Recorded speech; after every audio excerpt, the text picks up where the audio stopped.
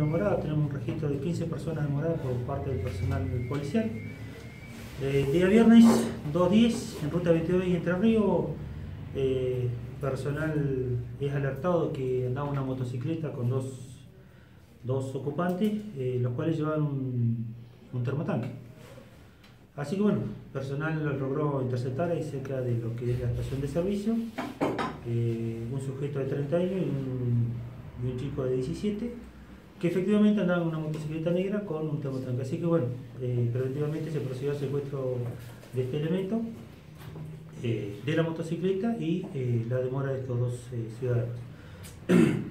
¿Hubo denuncia del robo? Eh, posteriormente, los, estas personas presentaron un, un papel de una compraventa de este elemento, así que bueno, se certificó de que existiera la persona que firmaba ese papel, así que bueno, se le restituyó el bien, como así presentó la documentación de la motocicleta, así que también se le entregó eh, este elemento.